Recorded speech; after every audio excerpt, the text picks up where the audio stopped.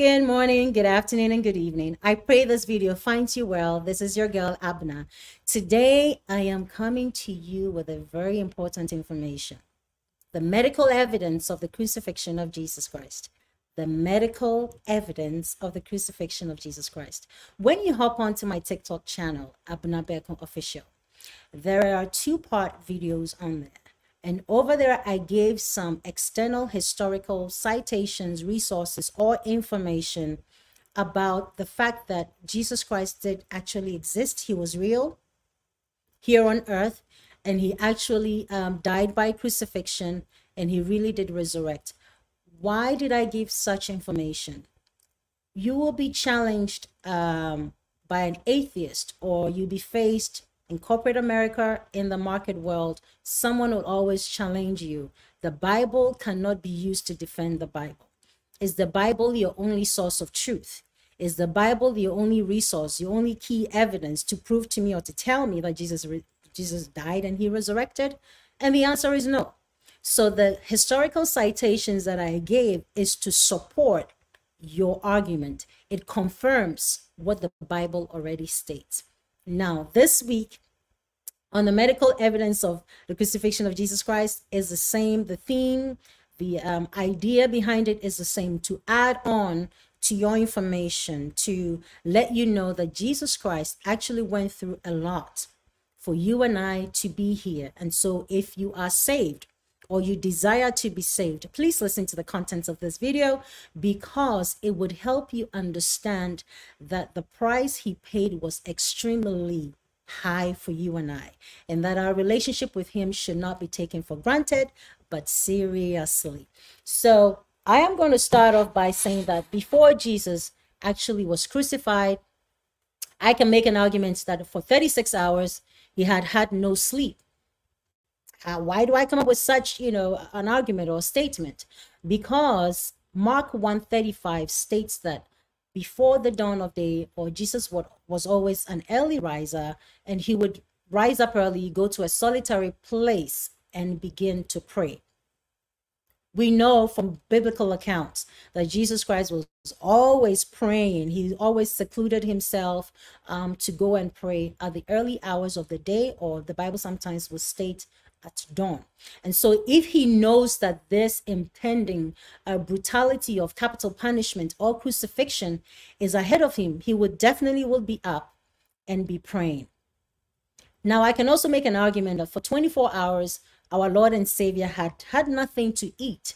Um, why would I say that? Because his last supper, which is called the Last Supper, right? The last meal he had with his disciples, uh, most scholars believe that it was on Wednesday. So Wednesday he had the last meal. Of course, Thursday he was crucified, and we have the Friday, Saturday, and Sunday the resurrection.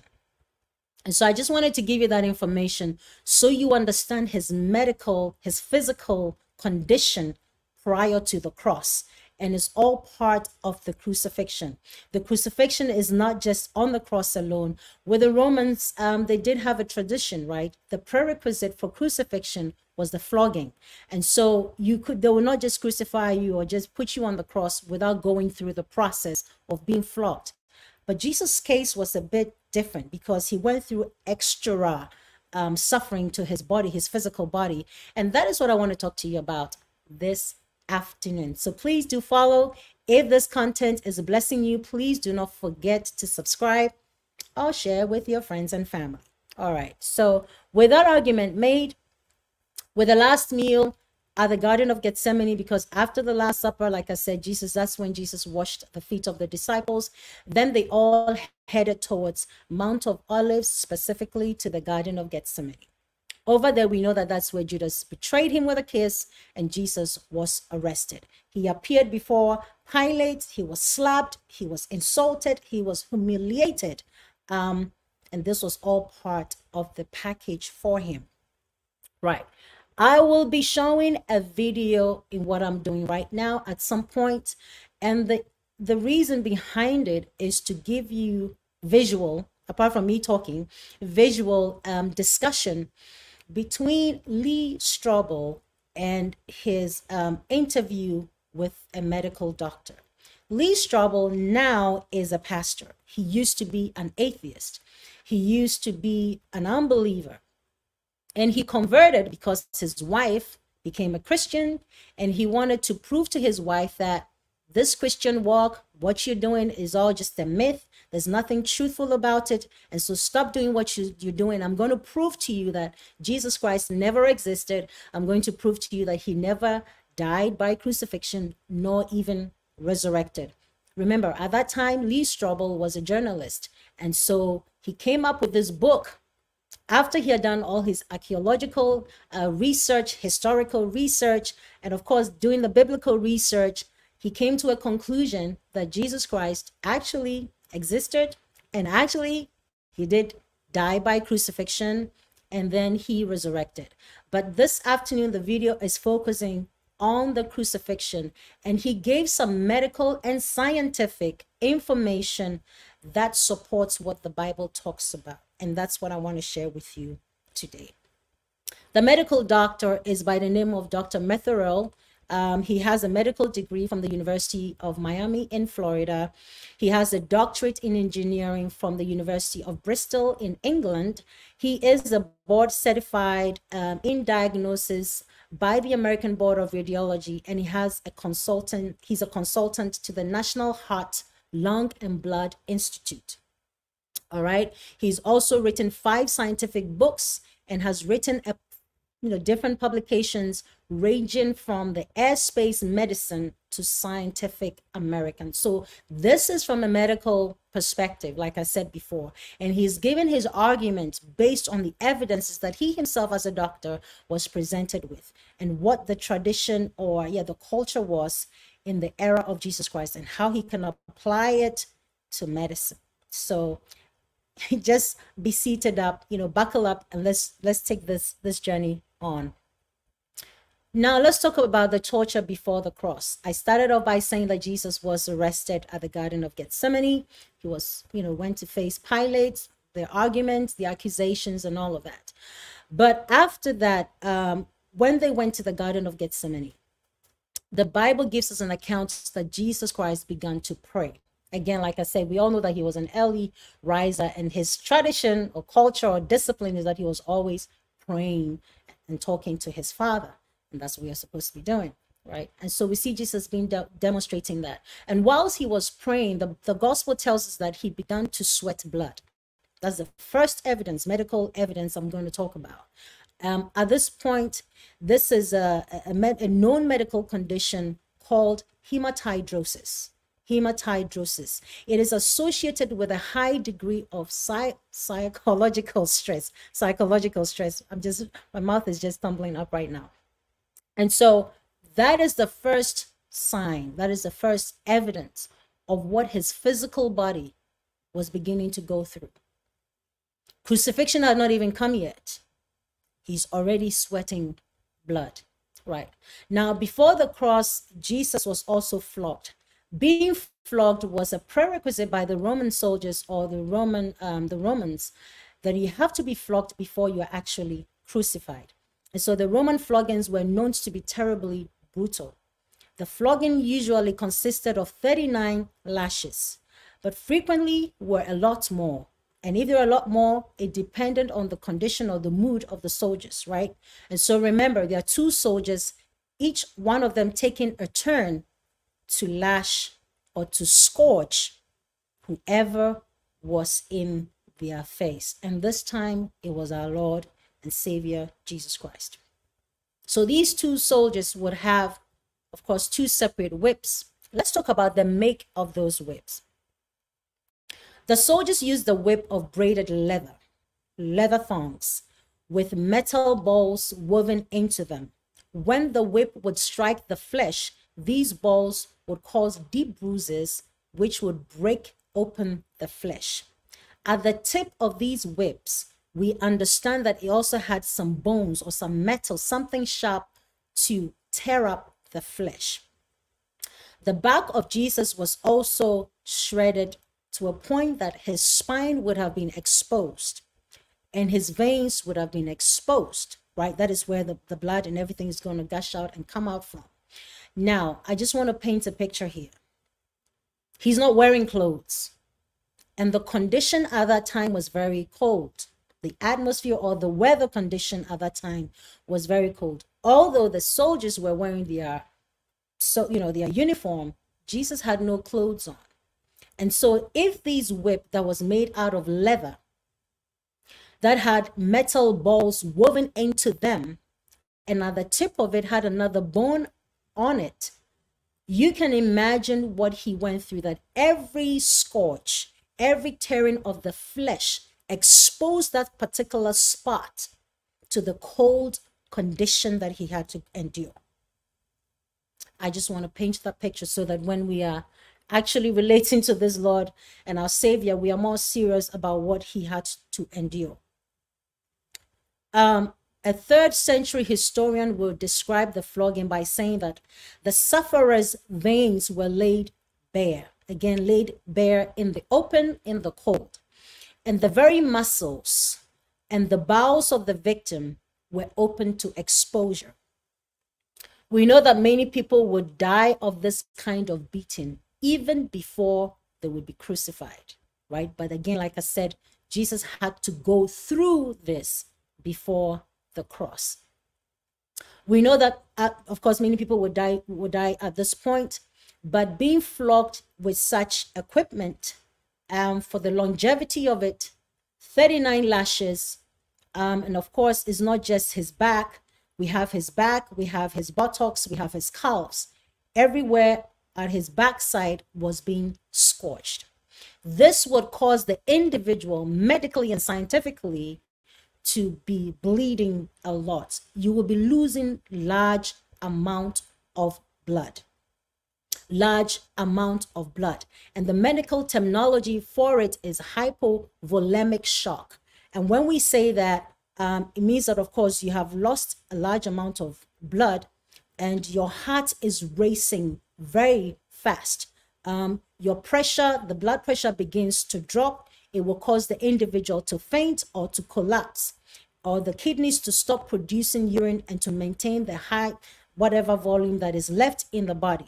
And of course, the individual will begin to be thirsty. How is this, you know, how does this tie up to the to the Bible? Well, when Jesus, after being flogged, right, he had to carry the cross to Golgotha. That journey, we see that he collapses or he falls down or he faints and then the Roman soldiers asked for a Simon to help him pick up the cross and carry on with the journey. Now, just want to stop here and paint a picture. 36 hours he had had no sleep. 24 hours, no food, no water. Went through humiliation, beating, slapping, all sort of things were done to our Lord and our Savior Jesus Christ. Now he's been flogged in the open cold without clothes. His veins have been torn apart based on the leather whips that they are using. And then, of course, he sweats blood prior to that. He goes through this torture, the flogging, and now he collapses, but he regains his consciousness. And then Simon helps him to carry the cross on the way to Golgotha. Let's talk about the agony of the cross. We've talked about the journey prior to the cross. We are talking about the agony of the cross right now. Now, some would argue that the, the Romans use nails. Um, mm, no, they use spikes. They call them spikes.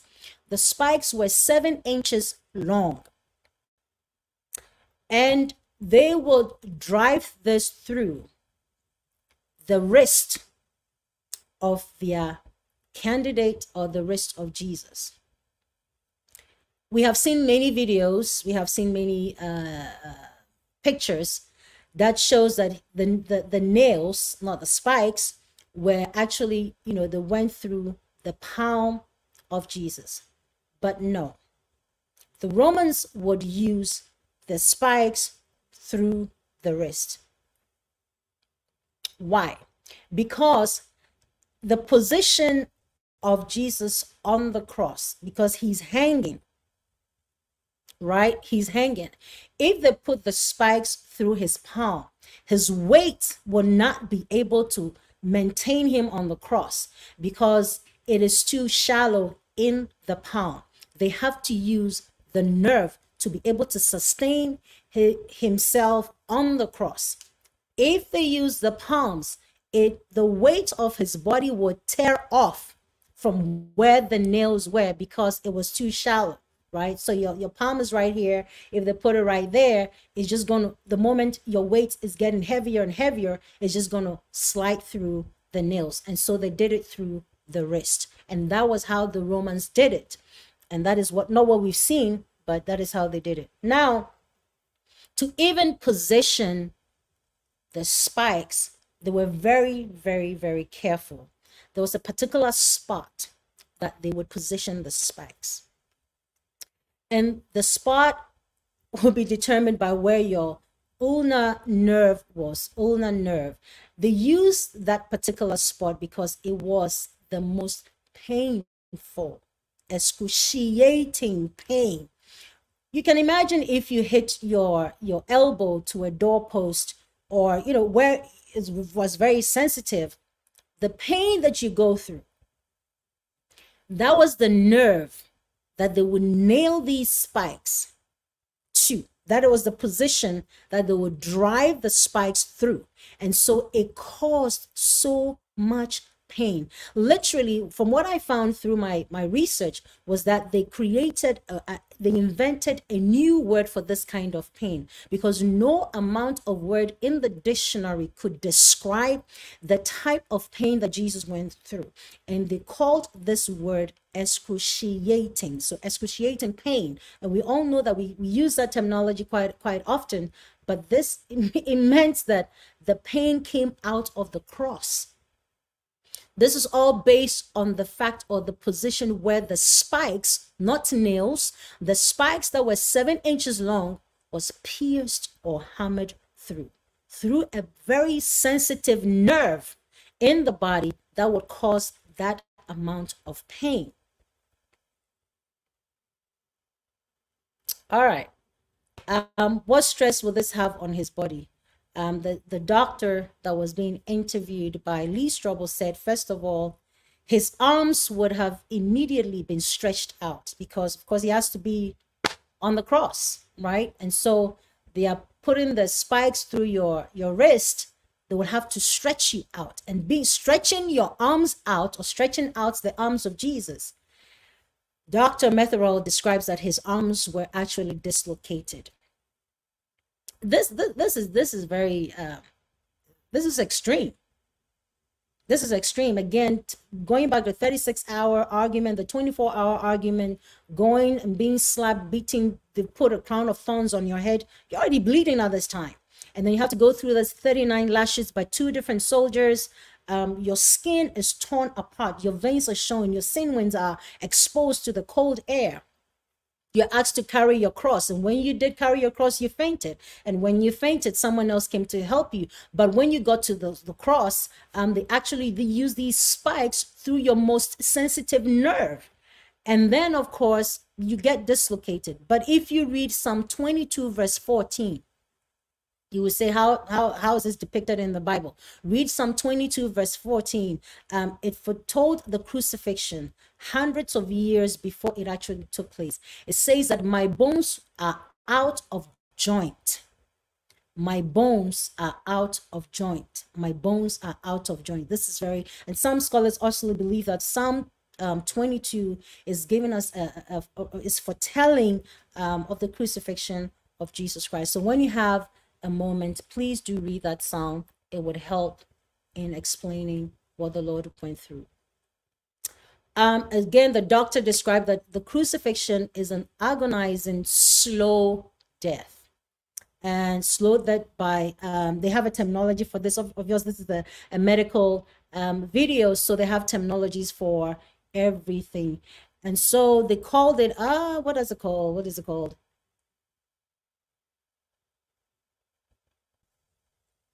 They called it asphyxiation, um, meaning that uh, it puts stress on the muscles and the diaphragm and it puts the chest into an inhaled position. So basically, for Jesus to inhale, right? Remember, his body is sagging on the cross. He is just being pulled down. So in order to breathe in and breathe out, or in order to um, exhale, he will have to push himself with his knees and where his feet has also you know uh, they've put the spikes through his feet he'll have to push himself down to push himself up to be able to exhale and then to be able to inhale. And so that was the position but it's putting a lot of pressure around the chest area. Remember his arms are you know stretched out his his his arms the sockets are dislocated. And so at this point he's trying to just breathe and even to breathe inhale and exhale is really getting difficult. Um, and so they call this terminology or the biblical the biblical the medical terminology is um, asphyxiation uh, which puts stress um, on the muscles and the diaphragm and the chest area. Again um, to keep doing this uh, for him to breathe and breathe in and breathe out remember he was on the cross from 9 a.m to 3 p.m before he died imagine what sort of strength did he have in a human form physically not spiritually physically to be able to keep pushing himself up and down to inhale and exhale? That must have been really really really difficult. And remember the spikes are at the most sensitive part in his wrist where the nerves are, the ulnar nerves. And so anytime he made a movement, it's like you have a stiff neck and you accidentally move it, you know how much pain that causes you because of that nerve interaction with what is going on in your body. And so that is what Jesus experienced. And so with that, how many times can he keep pulling himself up and down just to breathe? Picture that, picture that pain. So he was there from 9 a.m. to 3 p.m. before he did that. And so um, one would say, okay, so what is this all about? His strength at that point was very weak, unfortunately. And the Roman soldiers also had a tradition, and even the Jews would say, hey, we want to make sure that he's extremely dead, right? And so so that the, the disciples will not come and take his body and say he resurrected because whilst he was on whilst he was with us here and he was preaching he said he would die and in three days he would rise up again. So we want to make sure that he's dead. And so we want to ask you to actually break his legs.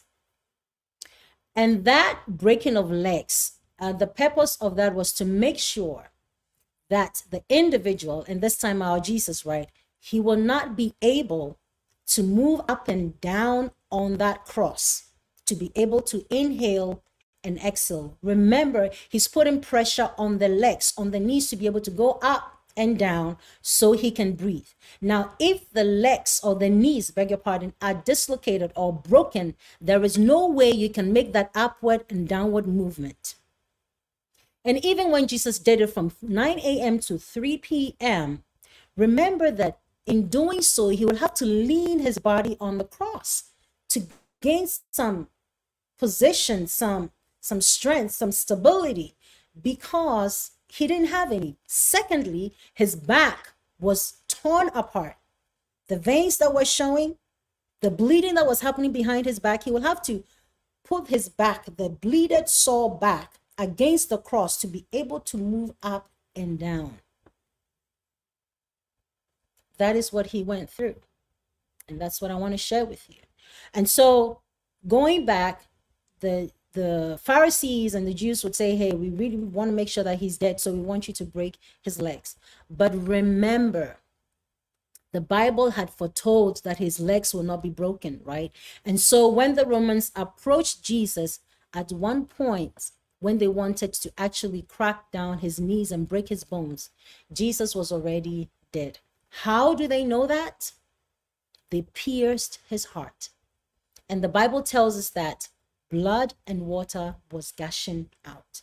Jesus was already gone at this point. And so there was no reason for the soldiers to break his legs. And that fulfilled the gospel that his legs will not be broken. fulfilled it. And so we just want to make sure that that is stated in there for us. Okay. Now, what do you have any evidence? Someone will ask me, do you have any evidence to support this um, spikes that you're talking about? Yes. Again, go and do your research based on what I'm saying.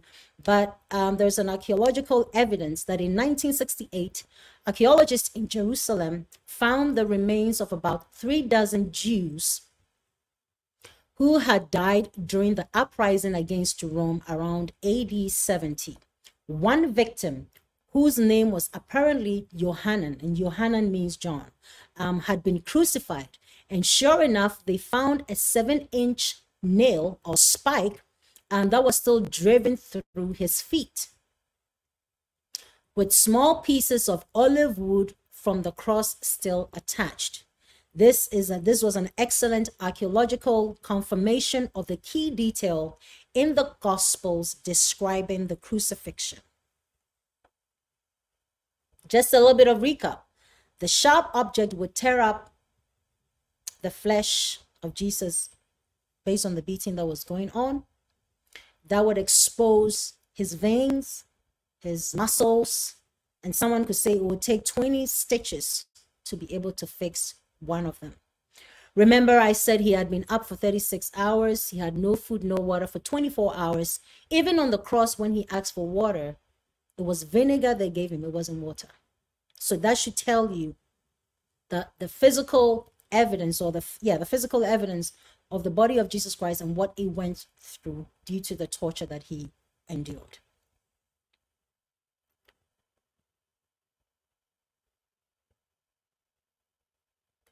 I just want to state that although Jesus Christ went through this, he never complained. To be able to accomplish what his father, his dad had told him to do, he never raised a voice. He understood the purpose he understood the mission. He knew it. And so once he said at the Garden of Gethsemane, Not my will, but your will be done, at that point he had surrendered. He had surrendered his purpose. And that just came to me. He surrendered his purpose to the Lord for it to be accomplished, for it to be done. So throughout all of this, he did not say a word. Others would say that he walked 2.5 miles the nights that he was arrested, just giving you a little bit of um, the toil that he went through. But let me get to Isaiah 50, 53 from verse 5. The word of the Lord declares that, but he was wounded for our transgression, he was bruised for our iniquities. The chastisement of our peace was upon him, and by his stripes we are healed. So now when you are quoting that scripture, have this picture that I've given you in your in your memory of what he went through and believe that as you quote the scripture, you are indeed healed of every sickness and every disease. Isaiah 53, verse 7, it says that he was oppressed, he was afflicted, yet he opened not his mouth. He is brought as a lamb to be slaughtered, and as a sheep before his shearers is dumb, so he opened not his mouth. Yet it pleased the Lord to bruise him, and that he had put him to grief. You can read the rest of Isaiah 53 from verse 5. The sufferings of our Lord Jesus Christ caused him to lose blood in seven different places. As I began to write this, as I began to put the research and information together, my mind became unstable. It's like I was, I, I instantly, I was like on fire. And I was, I felt like I was in the midst of what he was going through. I began to relate, although I never, I've never, of course, I've never been crucified nor beaten in that way, but immediately it's like I was at the scene with Jesus. And he gave me these um, different places that he was bruised. And of course, I had to make sure that it supported what, what the Holy Spirit had just ministered to me on. I had information to back it up. And I'm going to share that with you. And that also told me that the crucifixion was not just on the cross. The cross mainly talks about the shedding of his blood, but he shed his blood in different places apart from the cross. And that's what I want to share with you. So that when you're talking about the crucifixion or the idea of the crucifixion, you will not just remember the cross. Yes, the cross was the final destination of the physical torture. But prior to that, the first scene is at the Garden of Gethsemane. He shed blood. He was sweating blood. Look at Luke 22, verse 40 to 44. He lost blood when they pushed a crown of thorns on his head prior to the cross. John 19, from verse 2. He lost blood during the 39 lashes on his back, his shoulders, his buttocks, and his calves.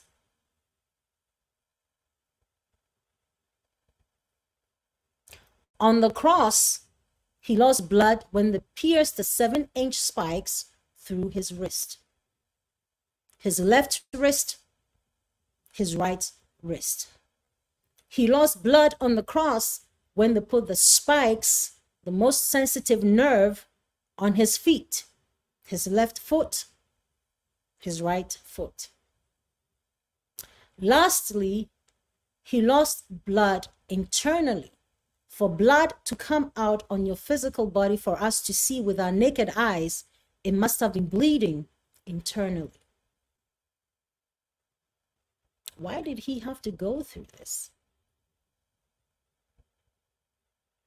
Why? Love. Love.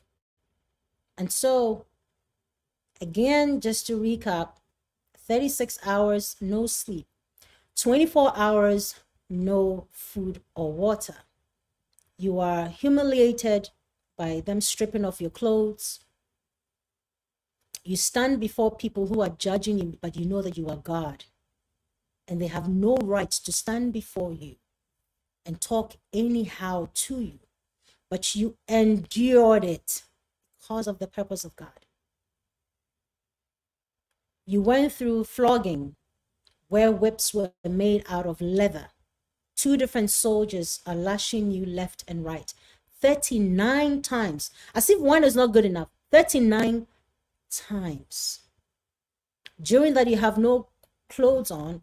It's very cold. And you have to endure this.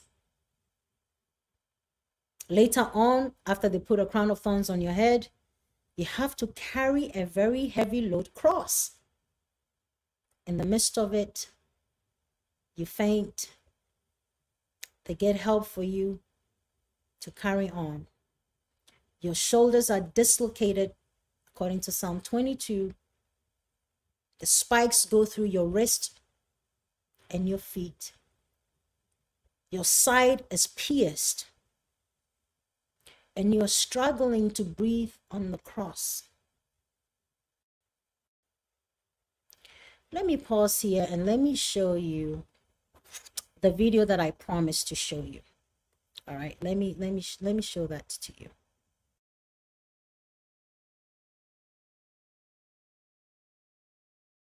This after Golgotha is because he never died on the cross. Because if he doesn't die, there's no resurrection, yes? That's right. So, so whether or not Jesus himself or, uh, or someone else took him off of the cross early, or if he fakes his own death, it doesn't matter. It completely discounts every aspect of the resurrection. Right, the swoon theory.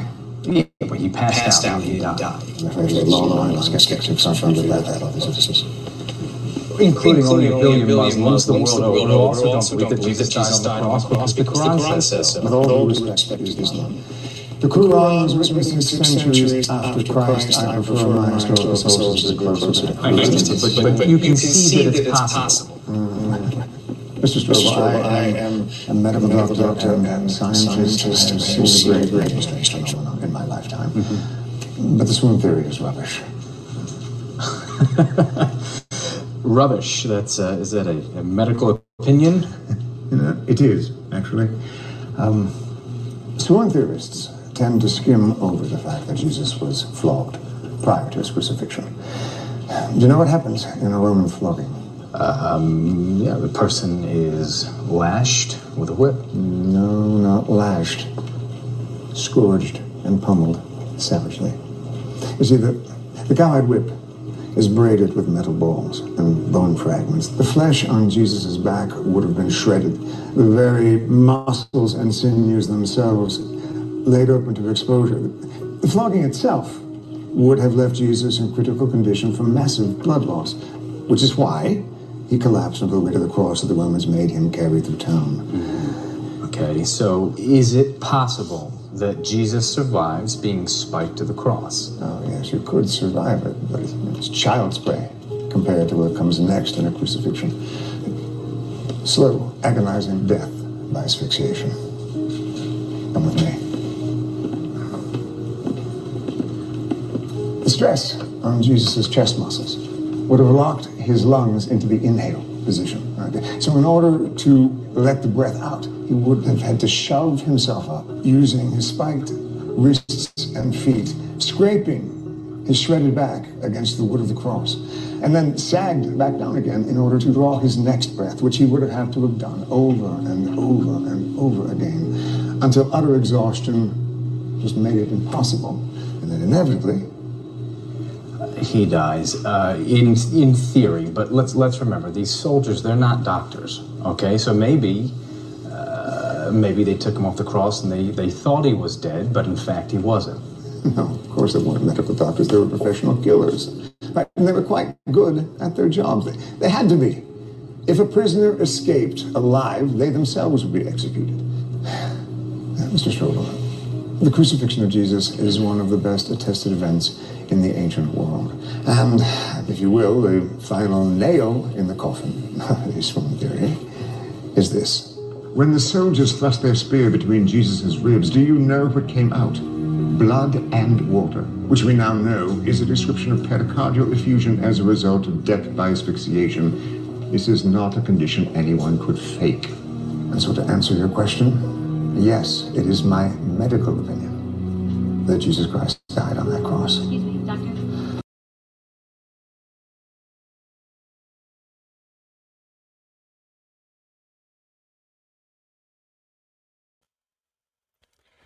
So there you have it. Just an additional information um, by the interview that Lee Strobel did with Dr. Metherell. Um,